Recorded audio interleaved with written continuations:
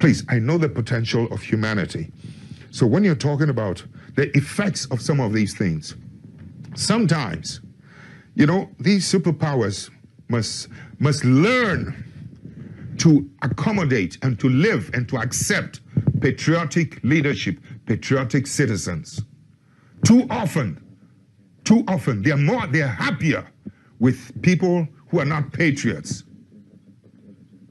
But you in, in Europe, excuse me, don't get angry, you never seem to know the role that some of your bad businessmen, you have good businessmen, and I respect them.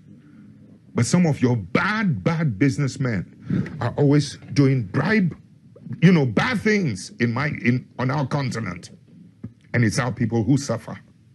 Has been committing the most atrocious crimes. I'm not saying this because I'm in a position.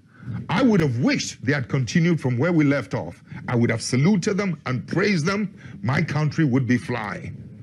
But my country is involved in the most massive corruption, some of the brutal killings that have taken place, terrorizing, you know, recruiting people from their parties into the police, the military, etc.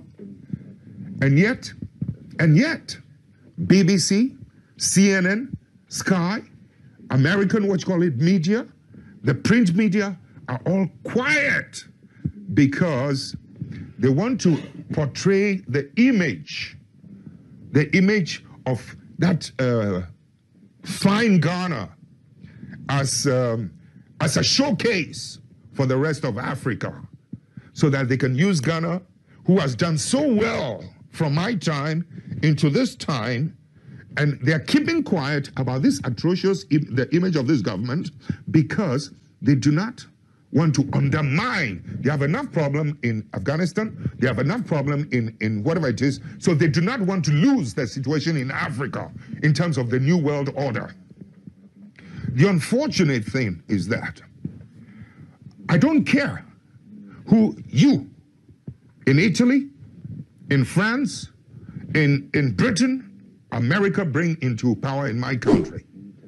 But I would wish you would contain them enough from declining into massive corruption and brutality and tyrannical tendencies. Because if you do not contain them, what happens is that they become so corrupt, they are now afraid of free and fair elections and they refuse to leave power, and then we have volcanic eruptions.